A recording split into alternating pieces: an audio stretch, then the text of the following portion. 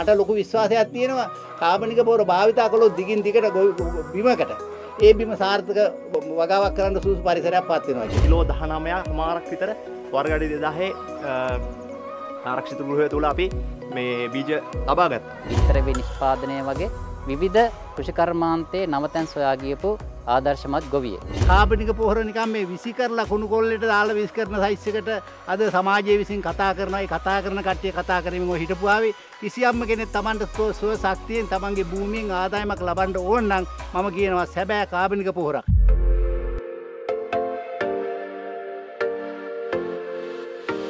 ඉපලෝගම හිරිපිටියාගම මේ ලස්සන සරුසාර කුඹුරු පසුගිය මහකන්නේදී අපට දක්නට ලැබුණා.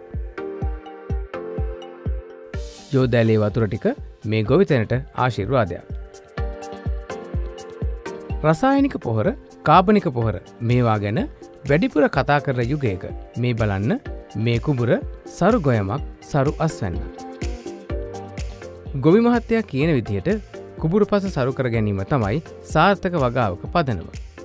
මොහුගේ කුබුර ප්‍රදේශයේ අනෙකුත් ගොවීන්ට ආදර්ශයක් වෙලා. අපි මේ කන්න ආරම්භ කරනකොට වැස්සක් වහිනකොට අක්වැස්ස කියලා කියන එකට ඒ වැස්ස වහිනකොට අපිට සිද්ධ වුණා මේකට කුඹුරට බහින්ඩ ඕන දැන් කාලේ හරි කියලා. ඒනකොට කොමනත් කුඹුර අපි යනවනවා එතකොට ඉපනැල්ල මේ ඉනවටක් තරම් මේකේ ලියදුවල කැලෑව වැහිලා තියෙනවා ඒ කෑබැයි ලොකු ගස්නෙවෙයි ආලා පොඩි කරලා ගන්න පුළුවන් කැරෑවා.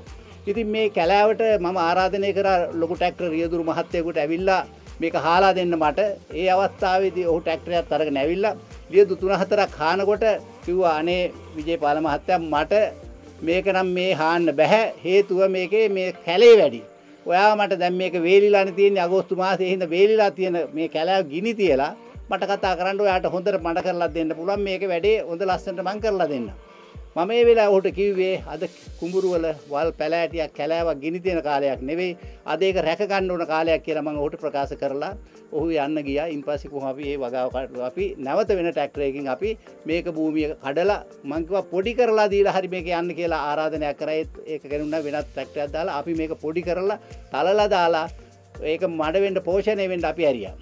එහි ප්‍රතිඵලයක් විදිහට වර්ෂාව ආවත් සති 3ක් 4ක් යනකොට අපි නැවත වගාව ආරම්භ කර මං ඉස්සලාම කරේ අර මේකේ කාබනික තත්ත්වය ආරක්ෂා කරගන්න පෝෂණය රැකගන්න තමයි ඒ හිය මන් තලවලා ගත්තක මුරුයාය. ඒකෙන් ආරම්භ කරයින් පස්සේ අපි දැක්කා මේකේ වගාව දැන් කරන්න කාලය හරි වර්ෂාවත් තියෙන වතුරත් තියෙන දැන් අපි වගා පටන් ගන්නකොට එතනත් හීය පරක්කු කරලා හීය හාලා පරක්කු කර එතන සති දෙකක් තුනක් කරලා තමයි වගාව ආරම්භ කළේ. මොහු කියන්නේ දීර්ඝ කාලීනව කාපනික පෝර භාවිතය තුළින් පස සරු කරගත හැකි බවයි.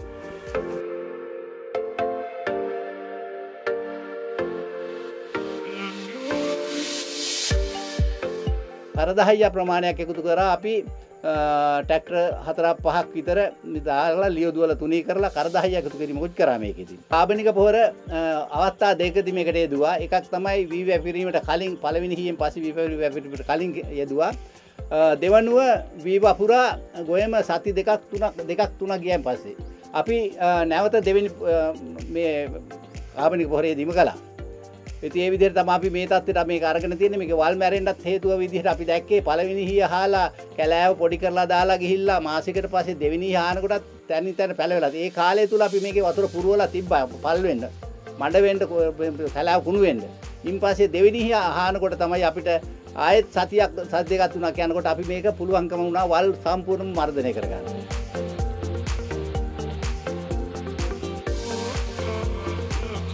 අපේ ගොවිය පුරුදු වෙලා තියෙන එකත් තමයි වීමිටිය පැල කරගෙන ගිහිල්ලා හීයක් හෝ දෙකක් හෝ මඩ කරලා කුපුරට ගහලා අස්වැන්න බලාපොරොත්තු වෙනවා.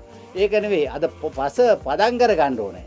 ඒකට එක උදාහරයක් මට කියන්න වෙනවා මේක අපි මම විවිධ ශේත්‍රවල ඉන්න කාලේ මම මේ කුපුරු බදු දීලා තිබුණා බදු දීලා තිබුණා මට ඒ බදු වී ආදායම විතරයි ආවේ. හැබැයි ගොවියට විශාල අසන්නක් ගන්න බැරි වුණා. බොහෝම අමාරුවෙන් යා කර. එයාගේ පුරුද්දක් තිබුණා මේ නියරවල වල් තෙල් හැම තැනම තෙල් එක තමයි යුද්ධය තිබුණේ. අපි දැකලා තියෙන. ඉන් පස්සේ මම මේක ගත්තට පස්සේ අවුරුද්දෙන් 4 5ක් කාලයක තුල මම මේක භූමිය පදන් කරගත්තා මේ පදන් කරගත්තයි කියන්න ඒ වලින් බැහැර කරලා කාබනික තත්වකට මම මේ හදාගෙන තියෙන ඒ නිසා මට ලොකු විශ්වාසයක් තියෙනවා කාබනික පොර භාවිතා කළොත් දිගින් දිගට ගොවි- ගො- බිමකට ඒ බිම සාර්ථක වගාවක් කරන්න සූසු පරිසරයක් පත් වෙනවා කියලා. ඒකේ ප්‍රතිඵලයක් තමයි 2019 ඉඳලා මේ වෙනකොට මම මේ භූමිය සකස් කරගෙන තියෙන්නේ. මගේ භූමි බොහෝ වගේ කඩංගලේ එහෙම මම කරලා තියෙනවා.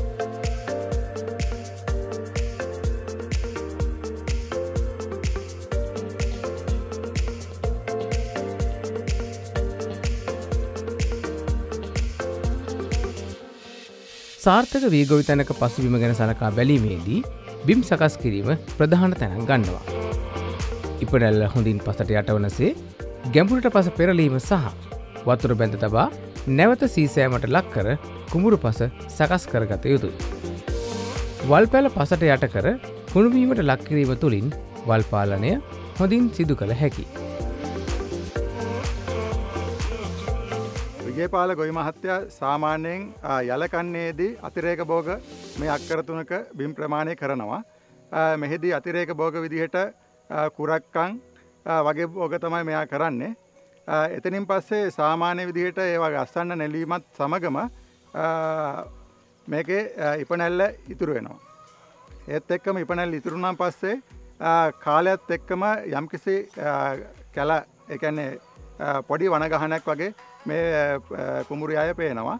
ඒත් එක්කම අපේ කාලත් එක්කම ආ, මාස්කන්නේ උදා වෙනවා. එකොට මේ ගොයි මහත්තය සාමාන්‍ය කරන්නේ ආ, ලොකු ටැක්ටරේ කියන්නේ සිවරෝධ ටක්ටරේ භාවිත කරමින් ආ, මේක සීසෑමකට ලක් කරනවා. ආ, මේක ආ, හොඳට සීසෑම කරනවා. ආ, සාමාන්‍යයෙන් වී වගා කරන්න මාසයකට වගේ පෙර තමයි ඇත්තටම ආ, මේ ගොයි මහත්තයා සීසෑම කරන්නේ. කොට අර ආ, ලොකු කැලෑව ලොකු ටැක්ටරේ මාර්ගයෙන් ආ, හොඳට ආ, බිම් සැකසීමක් කරනවා. මේ බිම් සැකසීම කරම් පස්සේ යම් කිසි කාලයක් මෙයා ආ, වතුර බඳිනවා. වතුර බඳලා ඉවරලා ආ, ආ, බිම සකස් කර ගැනීමක් කරනවා.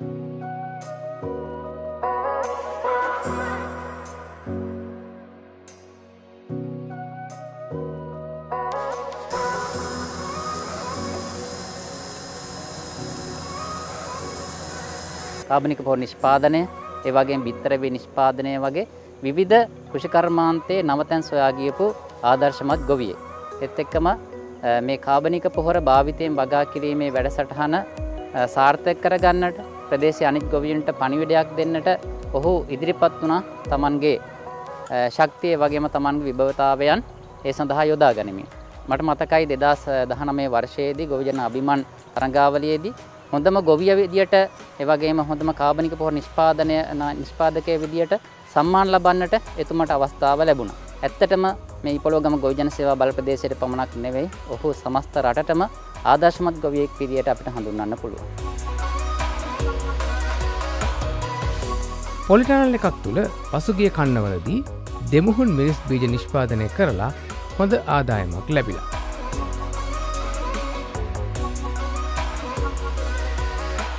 දෙදස් විසියක වර්ෂයේදී අ, මේ ප්‍රදේශයේ ම, මිරිස් ගොවියෝ ගොඩක් වෙලාවට පුරුදු වෙලා හිටියා. අ, ඉන්දියාවෙන් අ, ගෙන්වන ලද මේ ෆයිබ්‍රීඩ් මිරිස් බීජ වර්ග අම්, වගා කරන්න. ඉතින් ඒකෙදී අපේ මහිලුක් පල්ලම කෘසි විද්‍යාඥ අ, කන්නංගරස මේ අපේ රටට ගැලපෙන ඉතාම සුදුසු දෙමු මිරිස් ප්‍රබේදයක් හඳුන්වා දුන්න. ඒ මිරිස් ප්‍රබේදය අ, වගා ක- ව- මේ බීජ නිෂ්පාදනය කරන ආරක්ෂිත ගෘහත්තමා මේ තියෙන්නේ. අපි මේ කරගෙන යන්නේ. ගියවුරුද්දේ අපි ඒක ආරක්ෂිත ගෘහය වගා කිරීමේ කටයුතු කරා. ආ, මේක වර්ගඩි දෙදහක ආරක්ෂිත ගෘහයක්. ඉතින් මේකෙද මේ වගා කටයුතු කරද්ද අපේ කෘෂිකර්මාංශයේ ඒ අයි මහත්තුරු ඒ සියලු දෙනාම නොෙක් දායකත්වය දක්වුණා ඒ උපදෙස් අනුව උපදෙස්වලින් ඒ උපදෙස් යටත අපි මේක වගා කරගෙන ගියා. එහිදී අපිට ඉහළම අස්වන්නක් ලබාගන්න පුළුවන් වුණා මේ ආරක්ෂිත ගෘහතර කිලෝ දහනමයක් හමාරක් විතර වර්ගඩි දෙදාහේ ආරක්ෂිත ගෘහය තුළ අපි මේ බීජ ලබා ගත්තා. ඒ වගේම මේ ඒකෙදී අපිට ලොකු ආ, ආර්ථිකමය ශක්තියක් ලැබුණා ලොකු ආර්ථිකමය ආදායමක් ලැබුණා.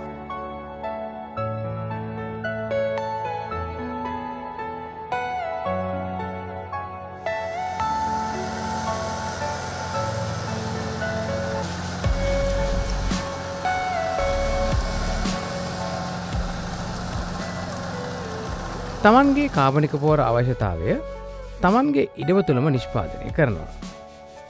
ගුණාත්මයෙන් කියල කාබනික පොර නිෂ්පාදනය කරනවා. බලන්න කාබනික පොහොර ගැන මොහු කියන කතාව. මම දැන් අවුරු තුනක හතරක අත්දැකීමත් තියෙන මේ කාබනික පොර නිස්පාදනය හා පරිහරණය සම්බන්ධය. මගේ විශේෂම මේ මේ වැඩේට ආරම්භ වුණේ මම දැක්කා අද භූමියයට පොළොවට ඕනෑ වගාවට ඕනේ කාබනික පොහොර කියන එක. ඒ නිසා මම මගේ වගාවන් වලට මම දෙදා දහනමේ හදාගන්න අවස්ථාවේදී මේ තරගයක් පැවැත්තුවා. ගොවිජන සේවාති පාර්තමේන්තුව කෘෂිකර්මජවන්තය ඒක අබද්ධ. මේ වැඩසටහනේ මයි පොලෝගම කොට්ටාසේ මම ප්‍රථම ස්ථානය දිනාගත්තා. දිනාගෙන මම ඒ එතනින් අතර වුණේ නෑ ඒක අවියක් කරගෙන මම ඒ ජයග්‍රහණය මම දිනෙන් දින අවුරුද්ධෙන් අවුරුද්ධමං මේක වර්ධනය කළා. හැබැයි මේ කාලේ තුළ මට ලැබුණු අත්දැකීම තමයි මේ කාමනික පොර නිස්පාදනය කරලා නිස්පාදකයෙක් විදිහට බෙදා හැරීම පමණක් නෙවෙයි මම කළේ. මම මේ කාබනික පොහොර මගේ පරිස්සයට නැත්නම් මගේ භූමියට මගේ ඉඩමට කුමුරට මං යොදලා ඒකේ ඵලදාව මා හිතන්නේ මම සම්පූර්ණම භුක්ති විඳා. ඒකේ ප්‍රතිඵලය තමයි යම් අස්සන්නේ කඩිනම් භාවයක් නැති වුණාට දීර්ඝ කාලින අපේ භූමිය සකස් වෙලා ඵලදාව අස්වැන්න අවුරුද්දෙන් අවුරුද්ද වර්ධනය වෙනවා මේ වැඩසටහන. එහෙමනම් මම කියන්නේ නැහැ මේක සමහර වෙලාවට විවේචන තියෙන්න පුළුවන්. මං කාබනික පොර නිස්පාදකකින්ද කාබනික පොර හොඳයි කියනවත් නෙවෙයි. මම සැබෑ ස්වභාවය නම් මේක පොළොවට මහ පොළොවට භූමියට වගාවට ඇතුල් කරොත් ඔහු ජයග්‍රහණය කරනවා නියතයි කියන එක මන්ට කියන්න පුළුවන්. හැබැයි මේ පිළිබඳ පසුතලයක් තියෙනවා අද වෙනකොට කාබනික පොහොර නිකම් මේ විසි කරලා කුණු කොල්ලට දාලා විස් කරන සයිස්සකට අද සමාජය විසින් කතා කරනයි කතා කරන කට්ටිය කතා කරමින් ඔය හිටපුවාවේ කිසියම්ම කෙනෙක් Tamanට සුව ශක්තියෙන් Tamanගේ භූමියෙන් ආදායමක් ලබන්න ඕන නම් මම කියනවා සැබෑ කාබනික පොහොරක්. හැබැයි ඒකට එකතු කරන්න ඕන වරහන් ඇතුලේ මේ අර වැවේ දාන රොම් මඩ එකතු කරලා මේ ඉටිරෙද්දකින් වහලා හදන කොම්පොස්ට් නෙවෙයි. නියම ප්‍රමිතියට හදන කොම්පොස් වර්ගයක් තියෙයි නම් ඒක පාවිච්චි කරන්න ඔබේ ජයග්‍රහණය නියතයි කියන එක මට ප්‍රකාශ කරන්න පුළුවන්. ඒ විතරක් නෙමෙයි මේ කාබනික පොහොරවල ආදීනතාවය අදට නෙවෙයි අනාගත පරම්පරාවට අපිට දකින්න පුළුවන් වෙයි කියලා මම විශ්වාස කරනවා. නිරෝගී සම්පන්න ජීවිතයකට ළමයෙකුට අනාගතයක අපේ පරම්පරාවටම ජයග්‍රහණයක් ලැබෙනවා මේ කාබනික පොහොර නිෂ්පාදනයෙන් ලබා ගන්නා ඵලදාවේ භුක්ති විඳීම.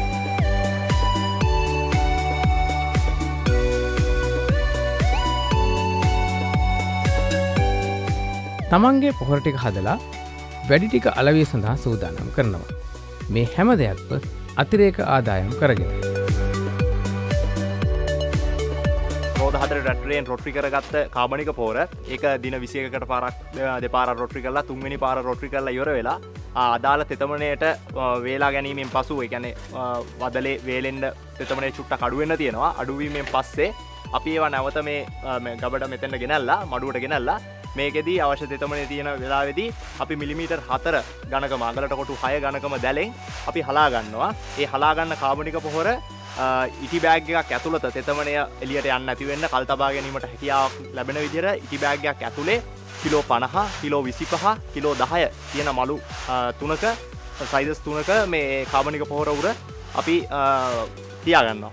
එම කාමනික පොහොර ටික අපි ඒ මිල ගණන්වලට අරගෙන තියන්නේ සමහර ගොවි මහතුරු ඉන්නවා මහාපරිමාණයෙන් කරන එකට්ටියට අපි කිලෝ පනහ බෑග්ගොලින් ලබා දෙනවා එතකොට අපිට යන කොස්ට එක පොඩ අඩු කරන්න පුලන් චුට අඩුමිලකට දෙන්න පුළුවන් අර චුටි බෑග්ගලට මල්තවාන්ගලට යෝතුව ගාවලට අවශ්‍ය කරන විදියට කිලෝ දහයේ මලු ලබා දෙනවා.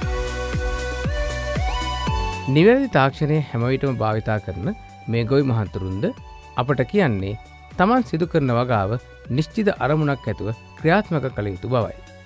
ඔහුගේ කාබනික පොල නිෂ්පාදනයත් මෙලෙසමයි.